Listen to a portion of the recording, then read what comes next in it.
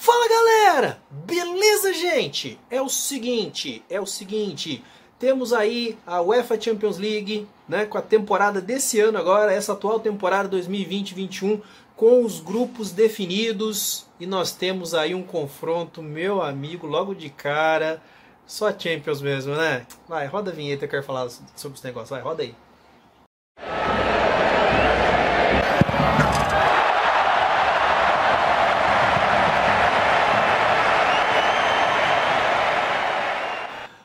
Dia, boa tarde, boa noite, boa madrugada para você que está aqui no YouTube dando essa moralzona para mim. Agradeço de coração, realmente muito, muito obrigado mesmo, sou muito agradecido a essa moralzona que vocês me dão, tanto aqui no YouTube quanto nas redes sociais do canal, no blog. Cara, muito bacana essa interação, esse feedback que vocês me dão. Né? Eu já falei que aqui o negócio é informalidade, tá? Então, assim, não espera muita coisa mirabolante aqui não, tá? Mas mas aqui é coração de mãe, aqui é democrático, aqui é um espaço bacana, livre para você falar, opinar, fique à vontade. Então, peço aquele praxezinho do YouTube, né? Esperto, né? Você tem aqui, ó, aqui no cantinho aqui tem um botãozinho que eu sempre deixo aqui para você, é, é para você se inscrever no canal, badala sininho. Toda vez que eu colocar um vídeo novo no canal, você aí receber as, as notificações, né? O YouTube também, né? Ajuda o YouTube, a, o algoritmo do YouTube também a recomendar o vídeo para vocês aí, né? E para mais pessoas, né? Dando like, dando dislike, é, comentando, compartilhando. Meu, fica à vontade, beleza? Fica à vontade. Aqui é coração de mãe, já falei isso aqui que é democrático, tá? E rumo a 10 milhões de inscritos, que maravilha. Ai, meu Deus do céu, Felipe Neto, você se cuida, cara. Eu tô chegando, tô chegando. Galera, é o seguinte, é o seguinte. Primeiro, se caso vocês ouvirem um barulho de fundo aí, é que o, o, tem um. O pedreiro tá aqui na frente, aqui no portão da minha casa. Ele tá fazendo um reparo ali, tá? Então, se caso ouvir um barulho de fundo aqui, é ele tá mexendo lá, tá? Eu tentei dar rapidinho fazer esse vídeo aqui para pegar a folga dele. Mas então, vamos lá, galera. É o seguinte. O seguinte, tivemos hoje, aí agora há pouco tempo, agora eu tô gravando esse vídeo agora mais ou menos umas 3, 4 horas da tarde, e tivemos aí no começo da tarde aí a, a, definição, né, dos grupos da Champions League para a próxima, dessa atual temporada, né, 2020-2021, né, que já tem aí, já vai começar agora, em, eu tô gravando esse vídeo aqui no dia do, do, do, do, do sorteio, né, e já daqui a três semanas aí, dia 20 e 21, nós vamos ter aí já a primeira rodada, né, e vai ser uma sequência de três semanas seguidas, né, três semanas, né, assim seguidas, de, de, de, de jogos da Champions, né, dos três primeiros jogos, as três primeiras rodadas. Aí tem um espaço de duas semanas e depois já volta, já com mais três semanas seguidas também, já é, outubro, novembro e dezembro ali, bastante intenso, né, com vários jogos da Champions aí. Então a primeira fase matando, tá? E, lo, e matando logo de cara. Tem, tem que ser também, né? Tem que ser mais, mais, mais, corrido, mais corrido, né? Normalmente é mais passado, né? E também a, a própria a, depois no dia em, em outubro, em, em, dezembro vai ter o sorteio, né, da, da do mata-mata que já vai ser em fevereiro, tá? Aí, aí mantém o padrão. Mas até então, né, por causa dessa estrutura toda, essa coisa maluca acontecendo aí, né, essa paralisação toda, essas coisas todas aí, vai ter três rodadas seguidas então, né, é, finalzinho de, fevereiro, de novembro, oh meu Deus, finalzinho de outubro e comecinho de novembro, dois, duas semanas de espaço e depois mais três semanas seguidas também em novembro e dezembro para fechar essa primeira fase, cara. E meu, cada grupo da hora, cara. Meu Deus do céu, eu adoro a Champions. Eu amo a Champions League, cara. Campeonato maravilhoso. Então vou falar aqui o, o, os grupos, tá? Que ficaram, né? Como que vai ser os oito grupos. Opa, oito, né? São oito grupos que tem aí definidos aí e também já dá o meu pitaco aqui quem que eu acho que vai passar. Olha que, que maluco. Aí depois lá no final eu volto e falo de novo quem que passou e tal, tal, tal. E outra coisa também, eu vou fazer, eu quero fazer um vídeo também a cada semana, cada sempre que tiver a, a, a rodada, eu vim aqui fazer um vídeo pra gente comentar a rodada, tá? Então cada rodada da Champions eu vou fazer um videozinho aí, vai ficar legal também. Beleza? Então vamos lá, vamos lá, vamos rapidinho aqui pra gente já falar aqui que tivemos aí, então um sorteio, né? Um sorteio cheio de pompa, aquela coisa toda. Tudo bem que foi mais, né, mais limitado ali, alguns jogadores, a maioria dos jogadores não estavam lá, né? Só, acho que só o pessoal do Bayern de Munique mesmo que tava lá ao vivo, né? O resto é tudo, tudo por, por, por conferência. Então vamos lá. Como é que ficou, cara? Vamos lá, uh, minha colinha aqui, tá? Então vamos lá. Uh, os grupos são os seguintes: Grupo A, né? O Bayern de Munique é o cabeça de chave. Aí temos também o Atlético de Madrid, da Espanha, o Real, o Real, o, o RB Salzburg, né, o Red Bull Salzburg da Áustria e o Lokomotiv Moscou da Rússia. Cara, cara, que grupo é esse, meu amigo? Bayern de Munique aí, né, é, é pegando esse grupo aí, um grupo encardido, hein, cara? Um grupinho complicadinho. Assim, não, acho que o Bayern vai ter um problema pra passar, não, mas é um grupo complicado, cara. É um grupo complicado aí, tá? É, eu vou falar o grupo e já faço análise embaixo, tá? Logo na sequência, tá bom? Então vamos lá. Então esse grupo aí, cara, eu acho que. É, é, assim, os favoritos são, sem dúvida nenhuma, o Bayern e o Atlético de Madrid. Apesar que o Atlético de Madrid me decepcionou muito na última temporada. Agora tá com o Soares lá, né, cara? Agora o Soares tá lá, tá metendo gol, aquele padrãozinho dele, né? Aquele jeito dele lá. Então, é, é, óbvio que são os dois favoritos do grupo. Eu acredito na classificação dos dois, tá? Realmente acho que os dois devem passar. O Bayern é, é, mudou aí, teve, perdeu agora, né? Meio de semana, até coloquei no blog lá. Tomou a piaba aí do, do, do Hoffenheim, mas já ganhou também a Copa da, da, da, da Alemanha lá contra o Borussia, já, já, já voltou ao normal. já voltou ao normal. Foi um deslize, um deslize do Bayern. Mas assim, é, é, o Bayern é o grande favorito do grupo, sem dúvida nenhuma. É o favorito da a Champions de novo, né? Essa é a verdade, né? Mas sabe que no começo tem muito, muita coisa pode mudar até o ano que vem, né? Mas o Bayern, sem dúvida nenhuma, entra como grande favorito aí defendendo seu título, né? Que, que o ano passado que gabaritou a Champions, né? Então eu acho que são os dois favoritos do grupo. O Red Bull Salzburg e o Lokomotiv são duas equipes Assim, o Red Bull perdeu muito, né? Teve o, o a saída, né? Do, na temporada passada fez uma ótima primeira fase, né? Mesmo ficando em terceiro do grupo, fez uma boa. complicou ali a vida do, do, do Liverpool, por exemplo, né? Mas é um time que eu não acredito que deva ter. que vai ter muita resistência, não, tá? Até perdeu o Haaland, perdeu aquele japonês também, esqueci o nome dele. Eu coloco na edição aqui o nome dele, esqueci o nome dele, tá? Que também foi pro próprio Liverpool até, né? Mas é muito bom jogador também, bons jogadores, mas eu acho que o Red Bull Salzburg acho que não tem muita força não, tá? Então, para mim aí, esses dois vão brigar por uma vaga na, na, na Liga Europa, tá? E o, e o Bayern de Munique e o, e o Atlético de Madrid são os grandes favoritos, eu acho que devem passar, tá? Depois nós temos o grupo B. Esse grupo B aqui, cara, assim, eu acho que não tem nenhum grupo da morte, cara, mas é um grupo bem enroscado esse grupo aqui, cara. Real Madrid, o Shakhtar Donetsk da Ucrânia, o, a Internazionale da, da Itália e o Borussia Mönchengladbach da, da, da Rússia. Desculpa, da Alemanha, tá? Rússia, da Alemanha. Cara, esse grupo aqui é um grupo que o Real Madrid, sem dúvida, o grande favorito, né? Acho que é o favorito para ganhar esse grupo. É o cabeça de chave, né? E sempre o Real Madrid é favorito, né? Não tem jeito. Mesmo não passando por uma fase assim, né? Das melhores aí, mas é um time. Tem, tem, tem time para passar.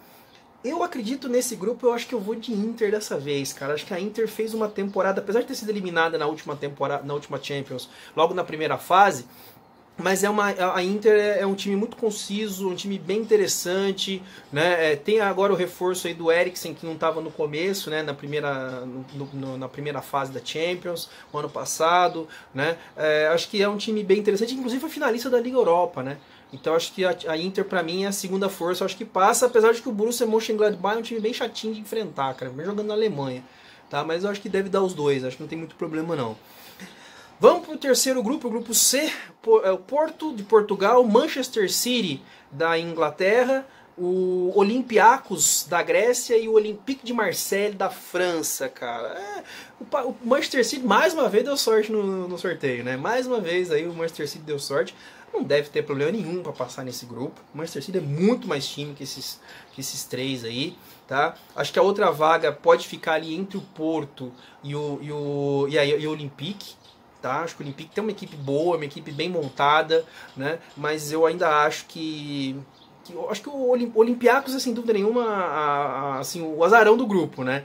É, é, aquele time que é o franco atirador, né? Quem perder ponto para ele vai ter, vai ter problema, tá? Mas eu acho que para mim acho que vai ficar eu, eu arrisco aqui acho Manchester, Manchester City e, e, Porto, cara. Eu acho que eu vou de Manchester City e Porto nesse grupo aqui, tá?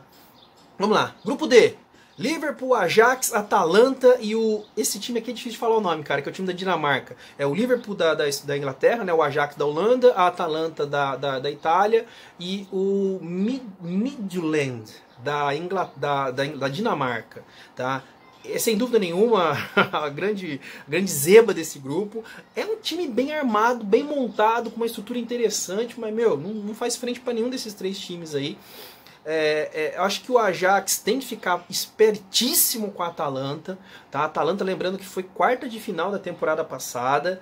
E, e cara, e complicou a vida do Paris Saint-Germain, lembrando que estava classificado até os 44 do segundo tempo para a semifinal, tá? E tomou a virada no, no, nos acréscimos do Paris Saint-Germain, tá? Então, assim, é um time que tem que tomar muito cuidado. O Ajax é um time bem montado, né? Tem aquele menino que era do São Paulo, que está comendo a bola lá, né? O Anthony, tá jogando pra caramba lá. Mas é aquele negócio, né? Jogar na Holanda é uma coisa, quando se enfrenta os adversários europeus é já uma outra história.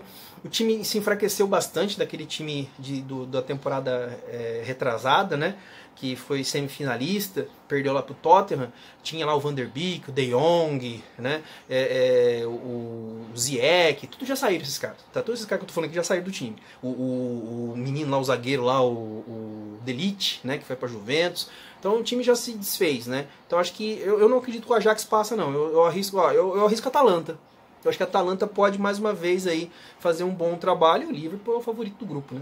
O Liverpool, o Liverpool, olha, eu não me surpreenderia se ele gabaritasse esse grupo aí, cara. Não me surpreenderia mesmo, cara. Não me surpreenderia mesmo, tá? Apesar, apesar de ser difícil enfrentar a Atalanta, tá? Mas não surpreenderia disso não.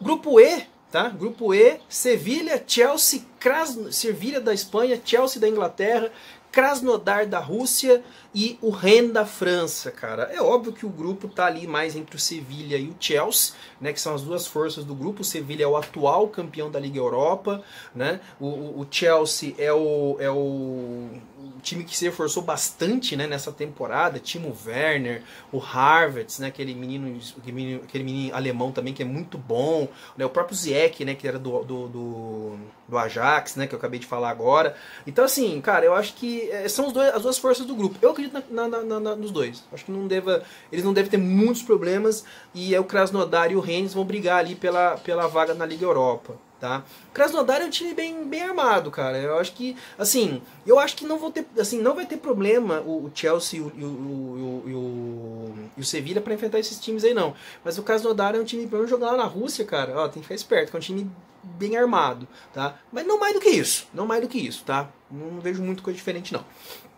Grupo F. Grupo F, Zenit, São Petersburgo, da Rússia, o Borussia Dortmund da Alemanha, Lazio da Itália e o Club Brugge da Bélgica. Eu adoro falar Club Brugge. bacana. bacana. Eu quero falar Bundesliga, adoro falar, cara. Acho legal, bacana. Então, lá.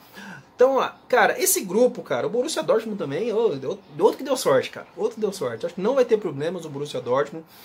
O Zenit é um, é um time que está ali no meio daquele. Da, tá na cabeça de chave, muito por aquele negócio do. do de ser, né, do, do, do, ranking lá da UEFA, de coeficiente, que a Rússia está melhor, que não sei aquela coisa toda, né? Aí tá na, tá na cabeça de chave, mas eu aposto nesse grupo na, no Borussia Dortmund e da Lazio.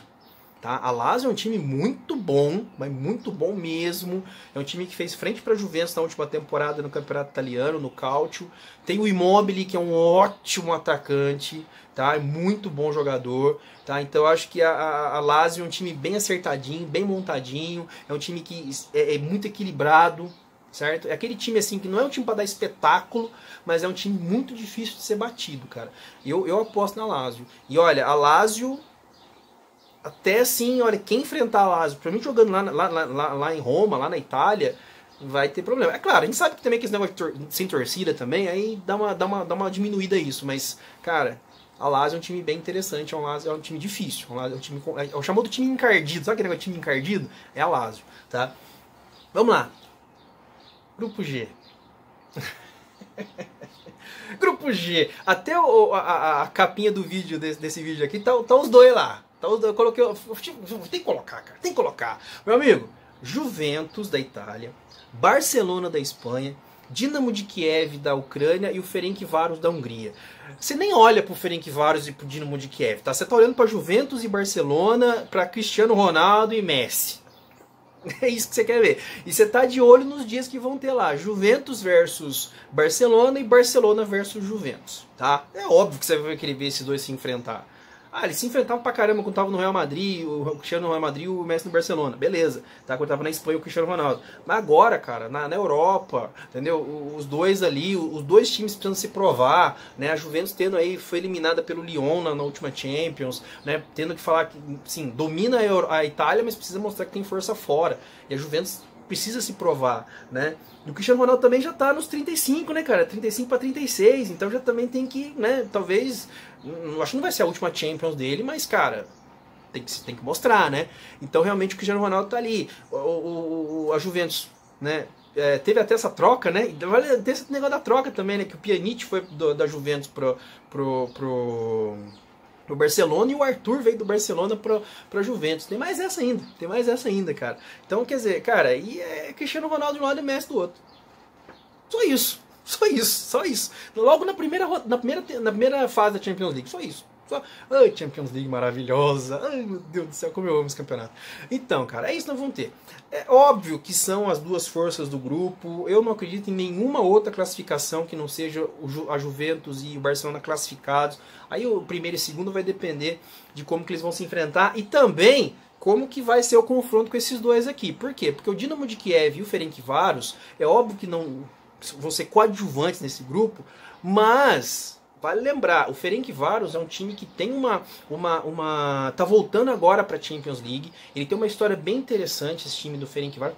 Seria até bacana fazer um vídeo sobre o Ferencváros, é bem interessante a história desse time.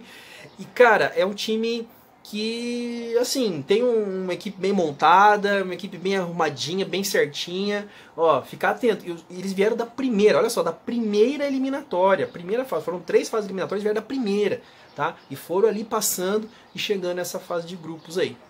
Beleza? Então é um time bem interessante da gente ver esse Ferencváros, tá? Mas sem dúvida nenhuma, né, Juventus e Barcelona são os favoritos do grupo, tá? E para fechar o último grupo, o Paris Saint-Germain, da mesma forma que o, o, o, o, Manchester City normalmente leva, leva sorte, né, pelo menos nas últimas duas agora, leva sorte nos, no, no, no, sorteio, o, o, sorteio nunca é muito bacana com, com, com o Paris Saint-Germain. Você reparou isso aí, cara? Nunca é muito bacana. E dessa vez não foi de novo, né? Vamos lá. Paris Saint-Germain da França. Manchester United da Inglaterra tá voltando para Champions, ficou a última temporada fora, volta agora, o Manchester United. O RB Leipzig da Rússia, da, da Alemanha e o Istambul, esse aqui eu preciso ler, cara. É Baza Basaksehir Acho que é isso mesmo. É o Istambul, é o campeão turco, é o atual campeão turco, tá? Cara, sem dúvida é o grande coadjuvante desse grupo, e aí nós temos três times aí brigando por, por duas vagas, tá? Assim, o Leipzig perdeu, realmente, perdeu algumas peças importantes? Perdeu, provavelmente o Timo Werner, né, que é o seu, a sua grande estrela ali, o seu grande atacante, perdeu. Só que o time, do, o time dele é um time bem montado. Chegou na semifinal na última temporada né? É um time bem arrumadinho, um time que tem uma proposta de jogo bem interessante da gente ver. É um time difícil de ser batido. O, o, o enfrentou inclusive o País Saint-Germain e o País Saint-Germain teve dificuldade com esse time aí. Teve problema para enfrentar esse time aí. Né? Não foi uma, uma semifinal. Né? O time do, do, do, do Leipzig né, foi assim, foi 3 a 0 para o Paris Saint-Germain, mas o Paris Saint-Germain, é o time do Leipzig é um time, é um time complicado, é um time complicado. Então assim, é, é, eu vejo realmente aí, né? Eu, eu, olha, aqui tem um pouco do coração também, né? Eu vou torcer pra caramba pro Manchester United, né? O United tá com um time bem, bem organizado, veio o Van der Beek agora para preencher aquele meio campo ali. Apesar de que a dupla de zaga do United é uma dupla de zaga que não dá, não inspira muita confiança, né? A dupla titular, né? Porque tem também os reservas que entra o Phil Jones. Quando o Phil Jones entra, meu Deus do céu, meu coração aperta. Mas ó, tem o, o, o, Maguire, né, que é o, que é o inglês, e o, e o sueco, que é o Lindelof. Mas são dois zagueiros assim extremamente inconstantes, principalmente o Lindelof, cara. O Lindelof é, é, o Lindelof é aquele cara assim, que ele consegue fazer uma grande partida e na, na segunda fazer uma, uma péssima partida assim. Ele é muito de pico, cara. Ele é incrível. O rendimento dele parece aquele eletrocardiograma, sabe? É incrível o Lindelof, cara. Faz uns pênaltis besta, dá umas falhas. Assim. É bom zagueiro, é bom zagueiro, tá? Mas. Um né? Então assim, mas o time do Manchester United, eu vou com o coração aqui, cara. Eu vou com o coração. Para mim passa Paris Saint-Germain e Manchester United. Mas fica de olho no, no, no Leipzig. Para mim, eu acho que é o único grupo aqui em que eu falo para você que tem três times com reais chances de passar. Tudo bem que tem o grupo também do, do Zenit. Acho que o grupo do Zenit da, e do, do. Desculpa, o grupo do, do Sevilha. Também eu acho que a gente pode até não, tem nada a ver com o que eu tô falando, esquece que eu falei. Esquece que eu falei, esquece que eu falei, tá? Eu acho que é o único grupo mesmo que você pode falar assim, ó, tem três times aqui com condições base de passar, tá? Ali você pode ter um equilíbrio, o grupo dos Zenit mesmo pode ter, o grupo dos Zenit mesmo pode ter um equilíbrio ali e tal, né, com o Zenit, a Lazio, tal, apesar de que eu acho que a Lazio passa, acho que não tem muita, acho que não vai ter muita coisa não, tá? Mas acho que pode ter um equilíbrio ali. Agora, o Ajax também, a Liverpool, Ajax e Atalanta também tem essa essa essa é, é isso que eu queria falar. é isso que eu queria falar. Então, Liverpool, Ajax e Barcelona e, e, e Atalanta também acho que tem os três sem condições de passar. Agora, o, o esse também tem, né? O Paris Saint-Germain, acho que é mais equilibrado ainda. Paris Saint-Germain, Manchester United e Leipzig. Eu vou de Paris Saint-Germain e Manchester United, tá? Pode me cobrar depois, tá bom? Pode me cobrar depois, certo? Mas eu não, não me surpreenderia se o Leipzig chegasse e passasse até em primeiro, se bobear. Até em primeiro nesse grupo aqui, tá? Não seria nenhum absurdo. Beleza? Então, tá vendo que o negócio tá muito louco, né? Tá da hora, tá bacana. Champions League é muito louca. E daqui a duas semanas já tem. Duas, é, não, três semanas. Três semanas já temos aí Três semanas, tá? Já temos Champions League aí pra torcer e. Oh, meu Deus, eu adoro esse campeonato. Gente, também tivemos nessa cerimônia de sorteio a, definição dos jogadores, dos melhores jogadores de cada posição, de, de, dos seus setores, né? Ali. Então nós tivemos, no caso do, do, do dos times, dos homens, né? Dos homens, tanto o futebol feminino como masculino, tá? Então, masculino nós tivemos o, o goleiro foi o Neuer, né? O Neuer do Bayern de Munique. O, o, o defensor né, foi o, o, o, o Kimmich, né, o Joshua Kimmich, do, do, do, do Bayern de Munique também. Meio campista, o Kevin De Bruyne, da, do Manchester City. O atacante, o Robert Lewandowski, também do Bayern de Munique. E o técnico, o Hans Flick, do Bayern de Munique também. E o melhor jogador, né, considerado o melhor jogador, a grande estrela, o grande, né, o, o atleta do, do, da temporada, o Robert Lewandowski, da, do Bayern de Munique. Beleza? E nas mulheres, também nós tivemos, aqui eu vou ter que ler, tá? Nós tivemos aqui, ó, a, a, a goleira foi a goleira francesa, a Sarah eh, Bonhad, tá? Que é a goleira do Lyon. É, o Lyon também, na verdade, quase, foi quase todas aqui do Lyon, tá? Depois nós tivemos também a melhor zagueira, que foi a, a, a Wendy, Hart, a, a Wendy Henner, que é a zagueira também do Lyon e da seleção francesa. Muito boa essa zagueira, cara. Eu fico impressionado com essa zagueira, cara. Eu vi a Copa do Mundo lá, falei, cara, meu Deus, a mulher vai lá na frente, faz gol, um negócio impressionante, cara. Também teve a, a, a, ela foi a melhor defensora, a melhor a melhor meio-campista foi uma alemã, né, ela, é, ela, é, ela é húngara, mas tem nacionalidade alemã, joga pela seleção da Alemanha, que é a, a, é Jennifer, é, Jennifer Maro, Marozan tá? Ela ganhou. E a, a, e a atacante foi a dinamarquesa, a Penil Harder. Tá? Ela jogava no, na última temporada, ela jogou no Wolfsburg da Alemanha e ela se transferiu agora para o ela se transferiu para o para o Chelsea, Chelsea da Inglaterra. E a, e a, e a, e a Marozan, ela era do Lyon e foi para o Manchester City também da Inglaterra. E o melhor treinador foi o treinador do Lyon, tá? O treinador do Lyon, que é o Jean-Luc Varsot, tá? Ele foi o campeão da última Champions League com o Lyon, beleza? Então, galera, é o seguinte, tá aí a Champions, tá aí a Champions, muito legal. Ah, outra coisa também, gente, eu recebi aqui, já vou até dar um spoiler aqui para vocês. Eu vou fazer um vídeo aqui, já, já, uma galera já me pediu aqui para fazer um vídeo sobre uh, futebol feminino, tá? Então vou abrir espaço aqui no CMF. Gente, é canal Mundo Futebol. Então tem que falar, e futebol feminino é muito bacana. Eu gosto de ver futebol feminino, cara, acho muito bacana, tá? Então também vou abrir um espaço aqui e lá no blog também vou abrir espaço sempre falar de futebol feminino também, tá? Então não é só o masculino que eu tô focando não. Então vou abrir espaço aqui para o futebol feminino que merece. Essas mulheres jogam muita bola, tá? E são exemplos de atletas dessas mulheres aí. Beleza? Então, vou fazer vídeos aqui sobre futebol feminino também. Beleza? Então, tá aí a Champions League. Que maravilha! Champions the Champions! Adoro a Champions League. Ela tá de volta com esses grupos todos aí que eu falei aqui pra vocês. Meu, que da hora que vai ser Tô muito afim de ver esses jogos. Daqui a três semanas ela tá de volta. E, meu, coloca aí nos comentários o que, que você acha, se você concorda com os meus pitacos aqui. Lembrando que, eu, como, como eu falei no começo do vídeo, eu vou fazer um vídeo a cada rodada, cada final de rodada da Champions. Eu vou vir aqui fazer um vídeo pra gente discutir a rodada, tá? E só aguardar agora. É só aguardar. Beleza, gente? Então, Fiquem com Deus. Grande abraço para vocês. Beijo no coração de vocês. Muito obrigado por mais essa moral que vocês me dão. Faz aquele praxezinho todo aí do YouTube que você já sabe, vocês conhecem, tá? Assina o canal aí, badala sininho, fique à vontade, faz o que vocês quiserem. Comenta à vontade, comenta, comenta. Eu tô aqui, quero ouvir, tô sedento de vontade de ouvir vocês. tô sedento de vontade, tá? Galera, beijo no coração, grande abraço, The Champions tá de volta e até o próximo vídeo. Valeu! Fui!